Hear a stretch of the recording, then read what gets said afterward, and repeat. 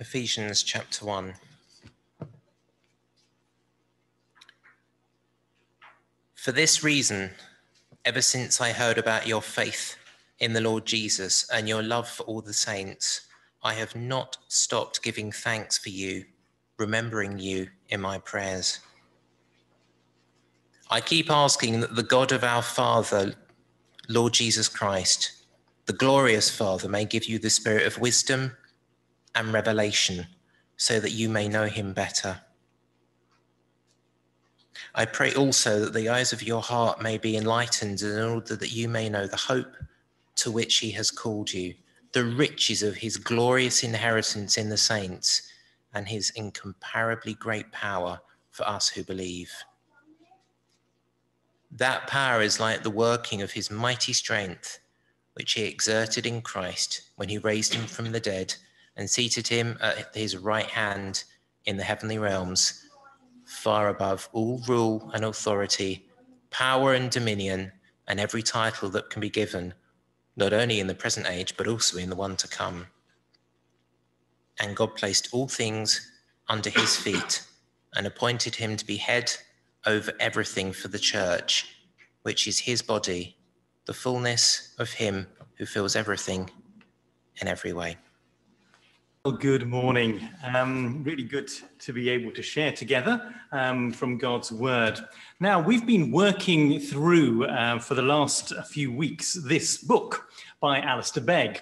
And um, so I just want to kind of quickly skim through what we've been doing. Um, if you've not um, got this book, it doesn't matter too much, but it is a really good book. Um, and as David was uh, mentioning, it basically, um, the author, who's a pastor from, well, he's originally from Scotland, but uh, uh, in the States, in Ohio, um, he um, really encourages people uh, who are listening to his sermons, but also reading the book, to have a passion to pray better.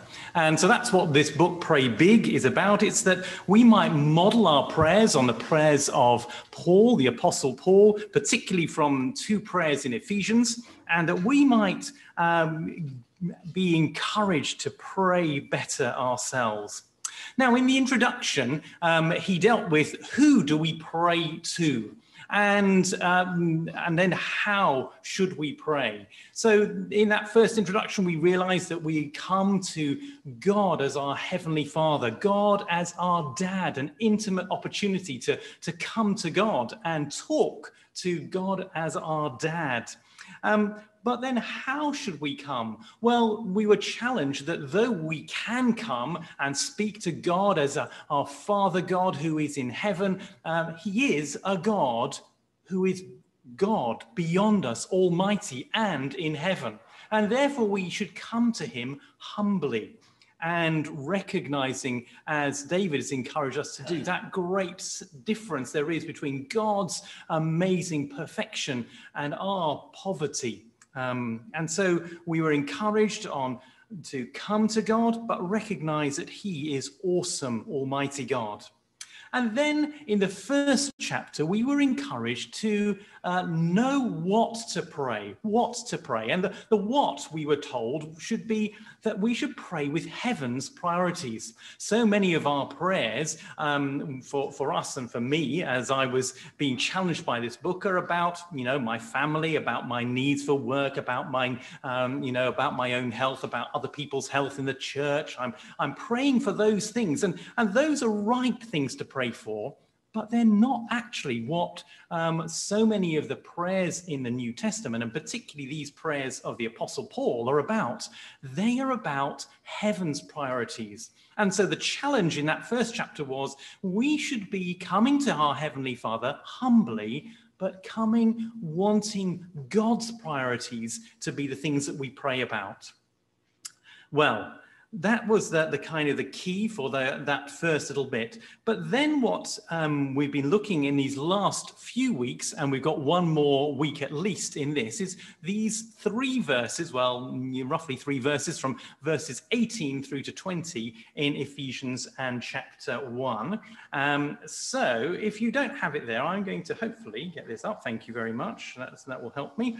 Um, and so this is actually from the ESV version, the English Standard Version version, the anglicized version, um, so that um, you will be able to see what we've been looking at over these last few weeks and what's coming up next. So, um, Paul the Apostle prays this. He says, having the eyes of your hearts enlightened, that you may know three things. You see, it could have been my sermon, couldn't it? But um, I'm afraid we've had to take each of these. But the three things are what is the hope? What are the riches? And what is the immeasurable greatness of his power? So, spoiler alert, next week's is going to be that immeasurable greatness of his power. This week's is what are the riches of his glorious inheritance in the saints. Last week's for those of you that remember, was what is the hope to which he has called us? Do you remember um, that? And then the previous time when David preached was the eyes of your heart be enlightened that you may know. So that, that was the title of the chapter for David's um, sermon was Focus. That wasn't David's title, but it's a chapter in, in this book here. And it was that God would give wisdom and understanding that our hearts will be increasingly open to know the spiritual things. That's having the eyes of our heart enlightened that we might know. Know not just in your head, but in your heart. Know with both intellect, thinking, but also intimacy with emotional feeling. Know God and know what's important to Him. And then these three whats. Last week was the what that the Apostle uh, Paul wanted the Ephesians to really know in their head and in their hearts. He wanted them to know the hope of their calling and our calling as believers, that they were, as Phil was telling us last week, that they were secured as an anchor, held tight um, tied by Jesus and held tight by God the Father. That was a, an amazing picture, wasn't it, of how we have a hope, not a flimsy, I wish for something, but a certainty. And that's the difference between Christian hope and the Christian hope that the Apostle Paul was praying for and then uh, and the world's hope. And then this week we're going to be looking at the riches of our inheritance as believers. And next week, spoiler alert, the power available to us as believers. Well, let's let's pray as we come to this passage. Father God, we do indeed come humbly before you, Almighty Creator, Sustainer of the universe, Sustainer of the air which we breathe, the one who loved us before the foundation of the world, who, who set his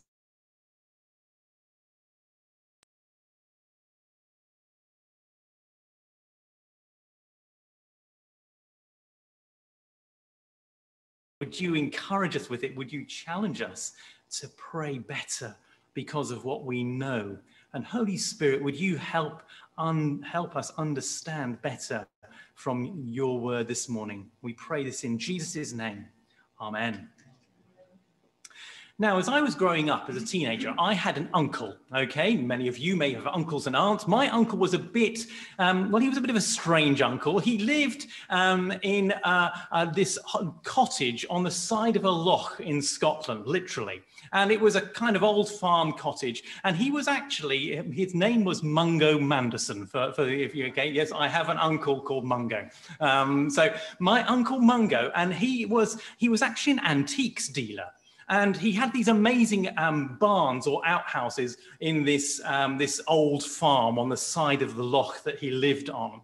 And uh, in this barn were like the most amazing load of rubbish that you have ever seen. You know, it was just piled up. But but you've got to remember that, that he was an antiques dealer. And so eh, he thought in his head that these things that he had were really valuable. And there were some amazing uh, things there. And as a teenage boy growing up, it was fascinating to see some of those things. And, and the one that I really, really loved and wanted if I was going to inherit anything from my uncle Mungo was this beautiful, didn't work, clapped out old MGA. For those of you out there, it was a beautiful MGA. The bodywork, not great, but it was. It could have been restored. It was absolutely beautiful. As a teenage boy, this was just. Oh, I would love that. Um, and there were some other things that, that looked kind of reasonable. They were, you know, a bit tatty and the, the kind of running joke in the family and the running joke for, for me and my, my little brother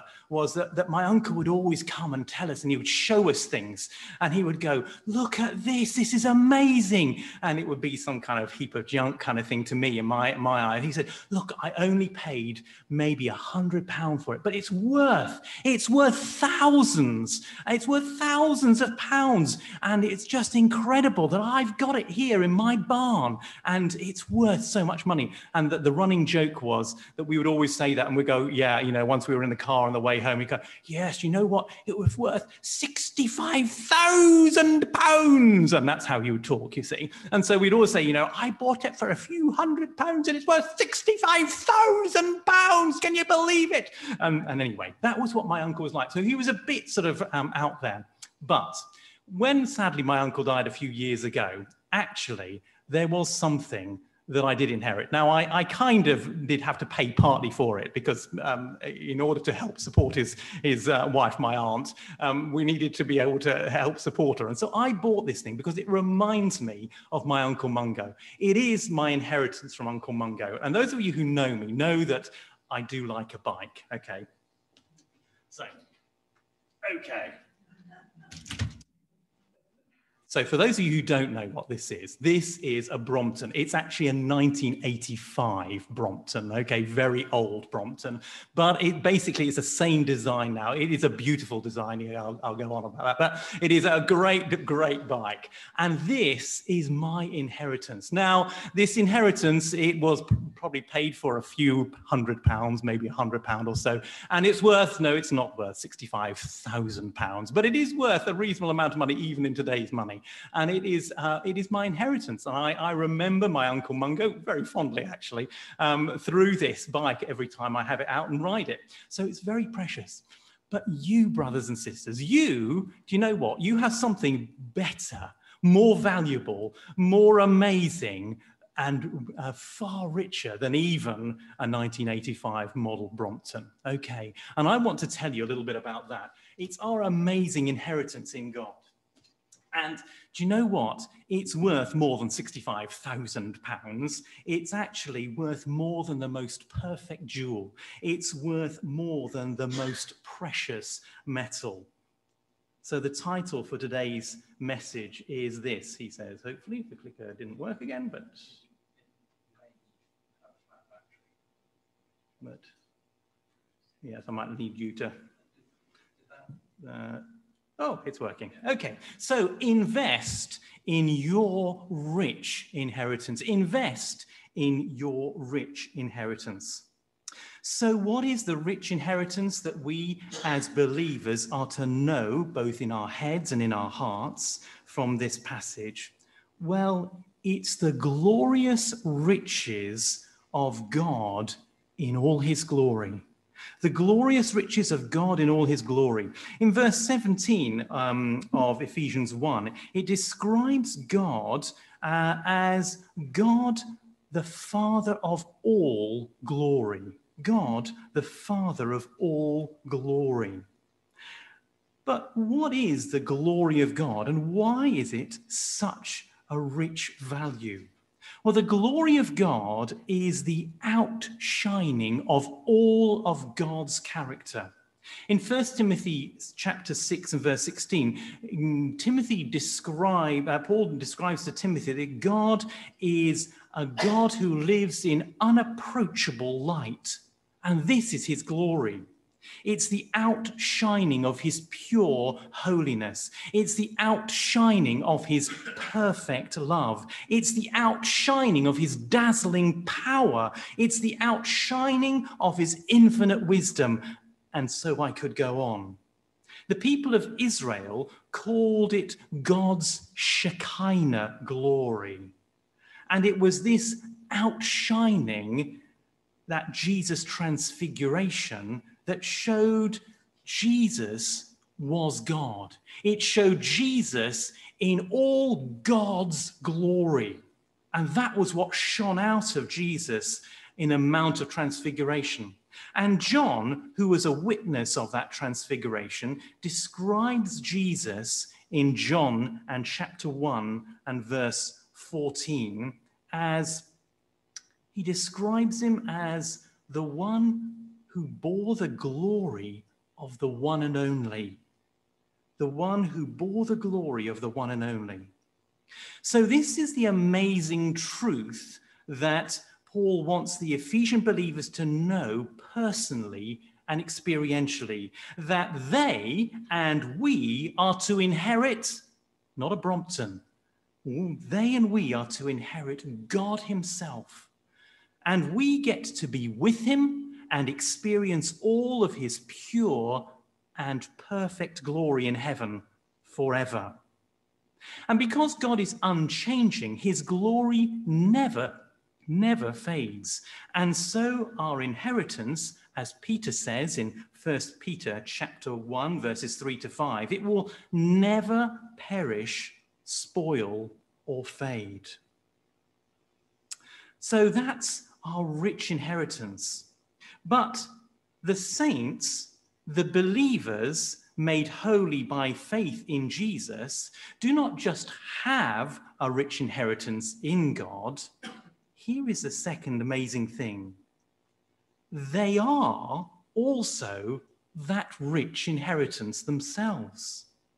You see, the eternal covenant, and that was one of the things that Don taught us about. Do you remember the eternal covenant is that agreement that God the Father made with God the Son before time? And in that eternal covenant, God the Father agreed exactly who would be the inheritors of the blessings of Jesus' obedience. Those would be God's chosen people. And who are those chosen people? Well, they are the ones who God had called, who are chosen and promised before time. So if you've still got Ephesians 1 open there in front of you, look at the beginning of Ephesians and chapter 1. In the first few verses, um, so let's just read from verse 4 through to verse 6. It says this For he, God chose, God chose us in him before the creation of the world to be holy and blameless in his sight. In love, he predestined us to be adopted as his sons through Jesus Christ in accordance with his pleasure and will, to the praise of his glorious grace, which he has freely given us in the one he loves. So, all of those who are foreknown and predestined and called will be justified and glorified, as Paul puts it in that passage in Romans and chapter 8, verses 29 to 30, that great chain of redemption. So God has promised, God the Father has promised the Son that there will be those who are chosen as the rich inheritance that Christ Jesus, the Son, will inherit. And you and I, as believers in Jesus, are part of that rich inheritance. We are those who have been chosen or are elect, given by God the Father to the Son. And why? Well, John chapter 17, Jesus prays to the Father, and he says that they, you and I, and the believers, those early apostles, might see the Father's glory and know the glory of the Son. That is what we will inherit.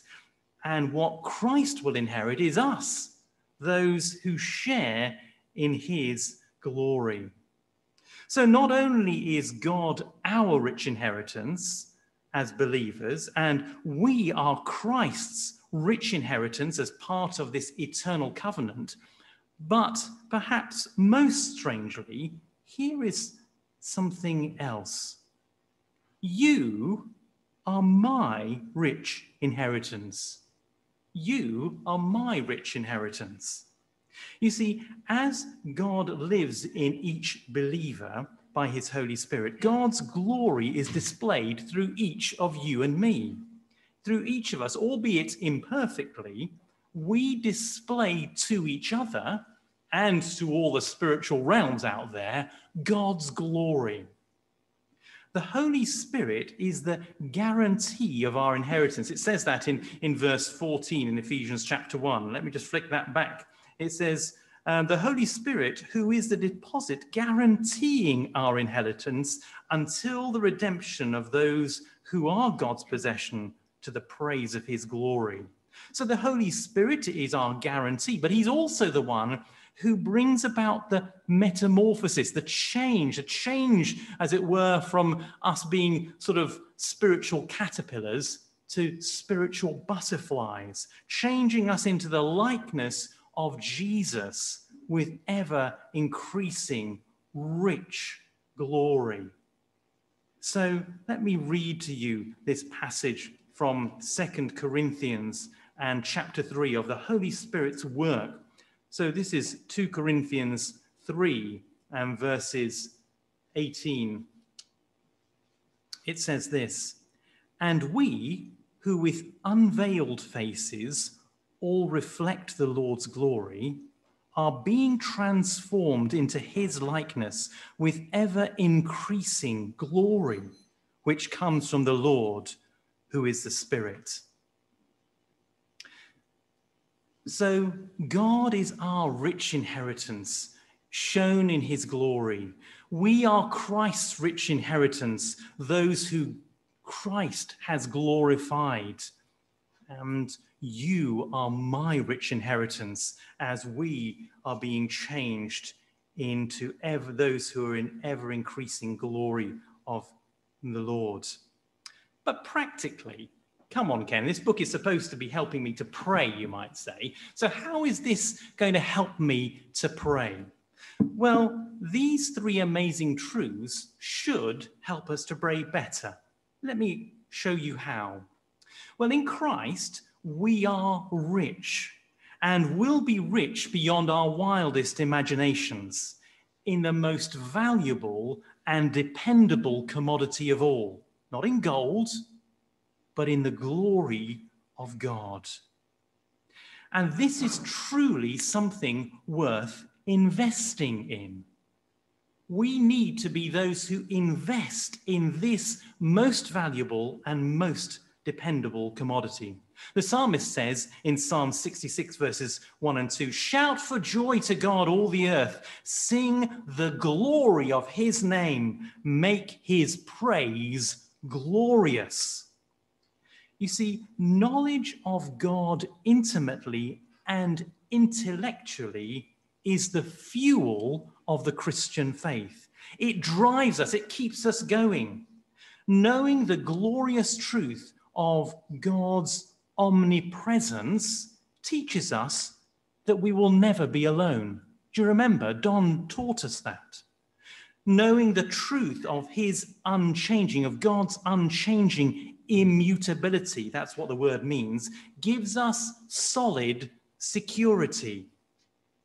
Knowing the truth of God's faithfulness gives us certainty that we can trust in.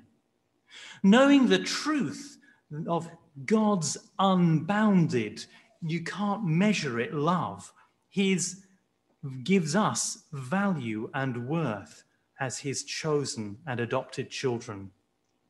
Knowledge of this rich, rich inheritance will change how we live and how we worship. Because that's what our lives are. They're to be a reflection, a thank you, a worship to God. And so, if we know this is who God is, then that will change how I live, how I live in my family, how I live in my job, and it will change in my thankful heart how I want to say, God, you are worth worshipping. So, yes, this is amazing. However, if as believers we are also Christ's rich inheritance, then this fact holds true. The greater the crowd, the greater the glory. The more rescued, the greater the glory for the rescuer. You see, Christ is glorified by a handful of faithful believers, much like we are this morning. But how much more praise and glory does he get from a great crowd of witnesses? Romans 10 and verse 14 says, How can they who don't know him, how can they call on one who have, they have not believed in? And how can they believe in the one whom they have not heard? And how can they hear without someone telling it to them? And how and can someone go and tell them unless they are sent?